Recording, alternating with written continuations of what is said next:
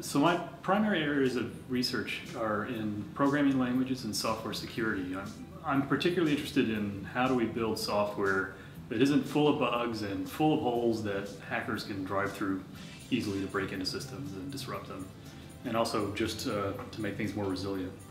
So I'm uh, the, the techniques that I'm particularly interested in are sort of rigorous formal methods techniques that derive from the logic and mathematics communities.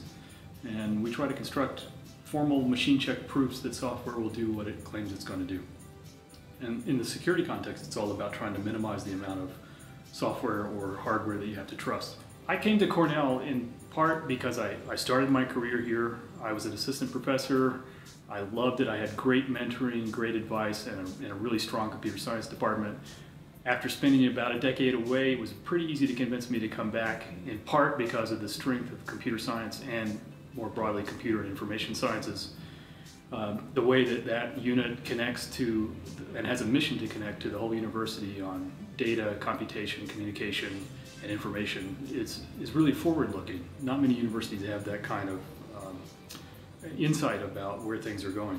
The strength of the whole university was another big draw.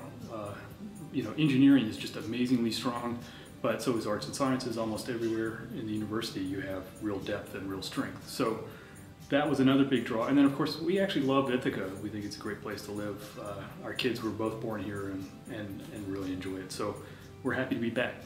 A number of my graduate students who were Cornell grads uh, are now full professors at uh, Ivy League schools or top computer science programs around the world.